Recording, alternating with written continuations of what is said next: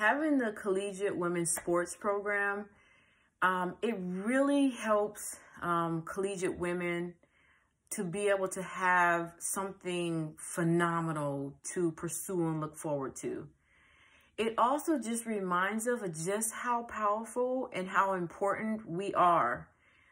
Um, we've come a long way where women were never recognized for really nothing at all. And for us to have something like this um, and to have these programs that are ongoing, um, that showcase women in all of our phenomenal facets and the things that we can do in our abilities. It goes beyond even athletics. You can see some of us outside of our athletic world and see us as daughters and sisters and wives and mothers, um, mentors and pillars of our community.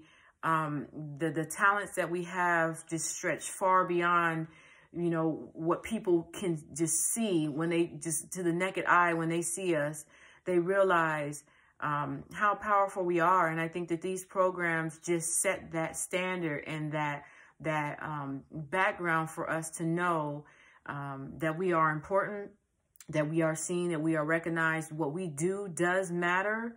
Um, and there is a future for us, not only in our sports, but beyond that. So to push hard to work hard and pursue our dreams and dream big um, allows for us to continue our dreams and pursue other things that are even bigger in our futures. So this collegiate women's sports program not only inspires athletes, but it inspires young girls all over the world um, that can see that they can do anything. That's really what it's about. Not just being an athlete, but being a strong woman whatever you inspire to be, that you are great.